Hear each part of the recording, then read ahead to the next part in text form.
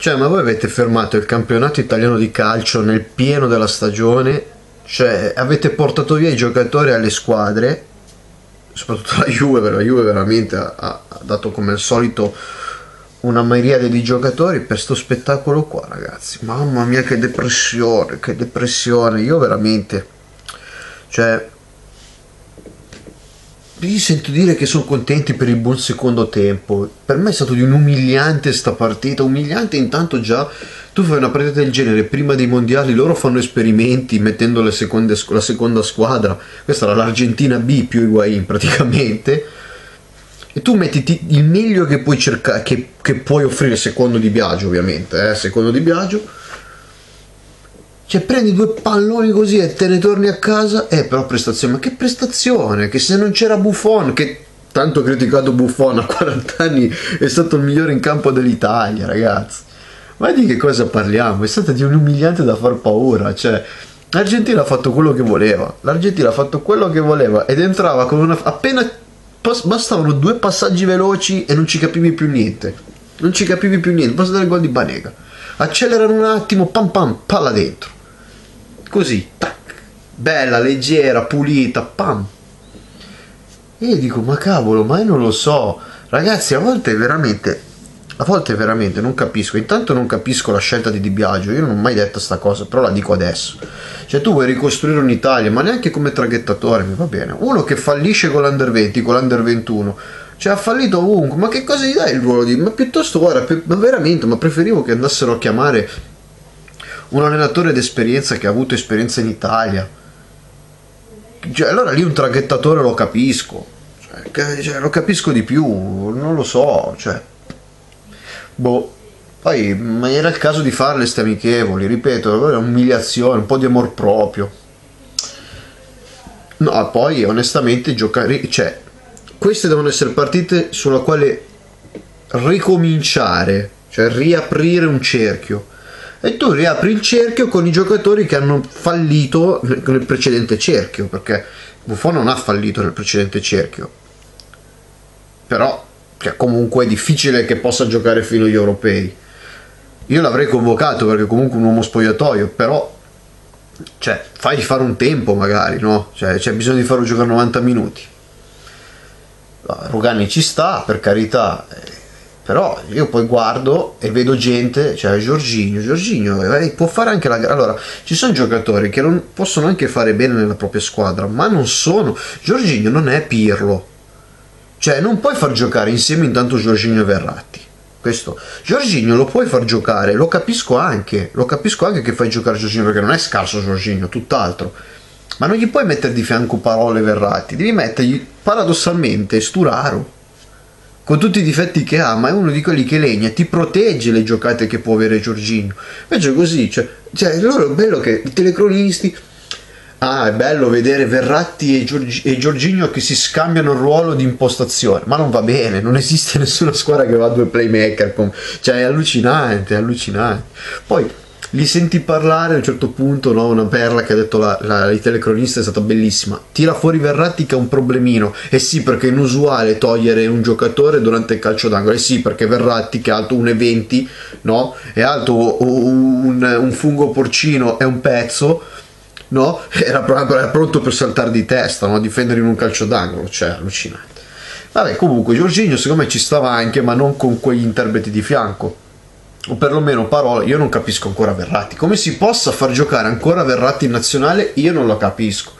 Cioè, o ci sono gli sponsor che spingono, se no non capisco. C'è un giocatore che ha fallito sempre con la maglia della nazionale, sempre. Che in Champions League ha fallito sempre. Che le uniche prestazioni decenti che le ha fatte le ha fatte in Francia, dove c'è un livello con le squadre da retrocessione, che quello sono le squadre che lottano per non retrocedere dal quinto posto in giù della, della Francia, sono paragonabili a una Serie B italiana bassa, media Serie B italiana e mi vengono a Verratti. Ma Verratti, ma come lo convochi a fare Verratti? Insigne se gli togli i compagni di reparto è un giocatore normalissimo.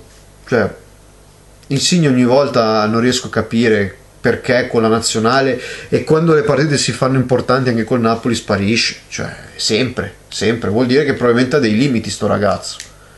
Chiaro, però Insigne in questo momento nel suo ruolo è il migliore, quindi non si può dire a livello nazionale se togli Insigne cioè non è che potevi mettere chissà chi, quello, è, quello hai.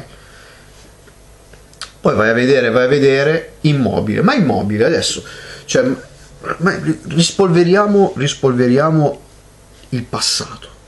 Il passato, l'Italia vincente, l'Italia del 2006, l'Italia...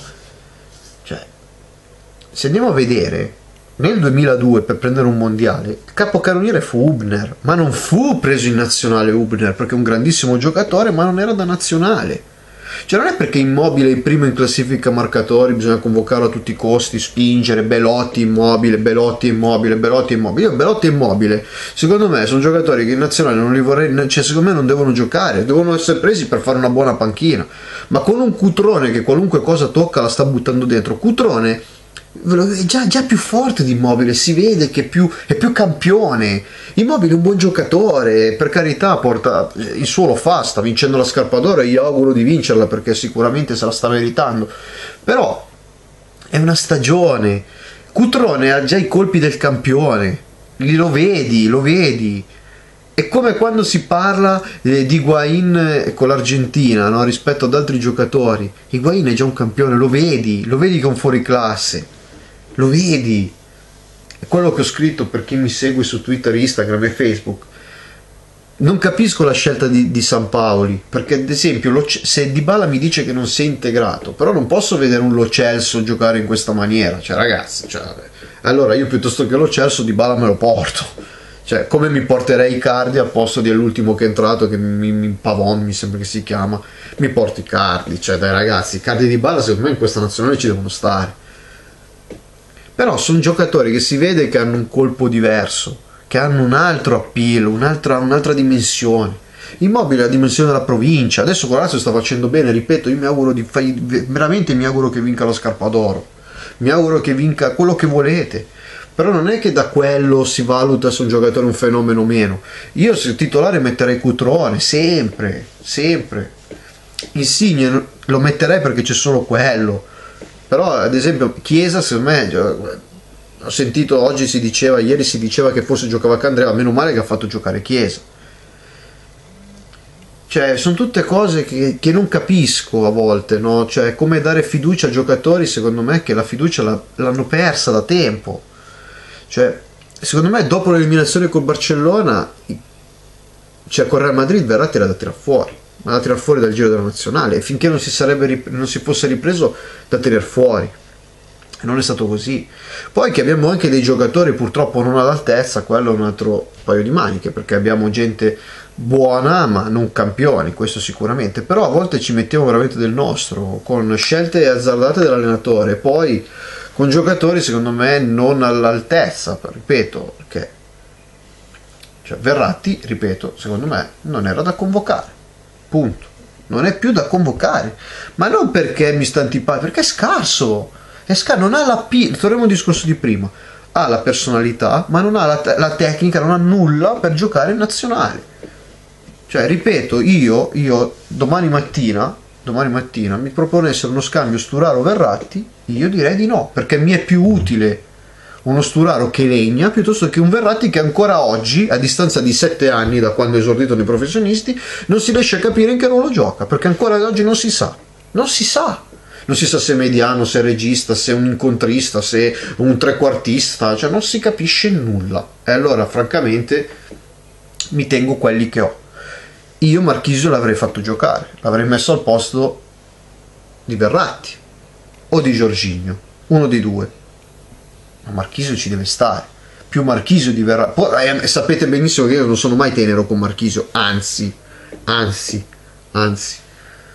Eh, vedo che anche il Milan ha tirato fuori dei signori giocatori, dei giovani. Cioè, se vogliamo dare la man- la ma- in mano la squadra ai giovani, dobbiamo dare la, man- la squadra in mano ai giovani. Francamente, mi sembra che si sia ripartito dalle cose sbagliate, si stanno portando avanti le cose sbagliate. Ora, ripeto, queste partite qua io fossi fossi l'Italia rimanderei ca- a casa tutti prima della prossima partita perché tanto non serve a nulla. Francamente se si devono affrontare che si, che si faccia veramente tabula rasa, qui non si è fatta tabula rasa, anzi mi sembra che la, la tabula rasa si sia fatta nelle cose positive e non nelle negative. Staremo a vedere. Io intanto vi saluto e vi do appuntamento con i prossimi video. Ciao!